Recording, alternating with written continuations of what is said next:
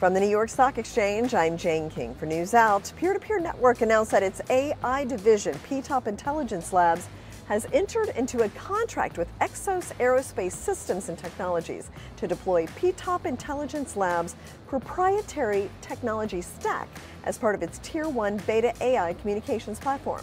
Under the agreement, PTOP Intelligence Labs will deploy its proprietary identification and automation code on the Exos Aerospace website and configure a multi-layer communication stack designed to support and automate select communication workflows.